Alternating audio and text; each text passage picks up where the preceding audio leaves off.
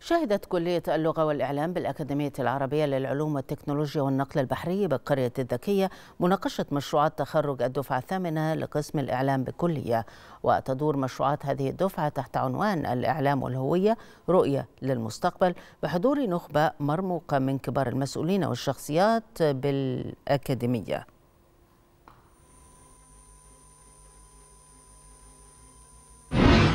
طلبة في قسم إعلام قدموا مشروعات جيدة جدا ومتميزة. مواكبة للعصر بتتحدث عن الهوية والإعلام. قدموا نماذج مختلفة من البودكاست والأفلام التسجيلية والبرامج والأفلام الوثائقية. فكان الحقيقة في مزيج من الاستخدامات المختلفة للوسائل الإعلامية الحديثة والقديمة. شفت مشاريع يعني احترافية على أعلى مستوى. يعني ممكن تعرض في على الشاشات وفي البودكاست في الإذاعة وفي كل مكان. مستوى عالي جدا جدا جدا.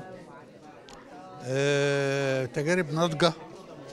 وواضح إن المستوى عالي جدا هنا. الدفعه دي الدفعة الثامنة من كلية عملناها تحت عنوان الإعلام والهوية.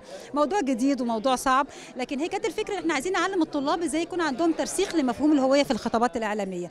وعلى مدار بقى طول الترم محاضرات وورش عمل ومجهود ضخم جدا الحمد لله الطلاب استجابوا. وكان كمان زمايلي أعضاء التدريس وأنا سعيدة قوي بالنتيجة النهارده. كل مرة يعني بنقول هتبقى حاجة صعبة بتطلع حاجة أحسن من اللي قبلها وربنا بيكرمنا فيها. إنما فعلا هم كانوا مجموعة هايلة. وأربع مشاريع كانت ناجحة جدا جدا. فده بيحسسنا إنهم ده ده هم هيبقوا أحسن وأحسن.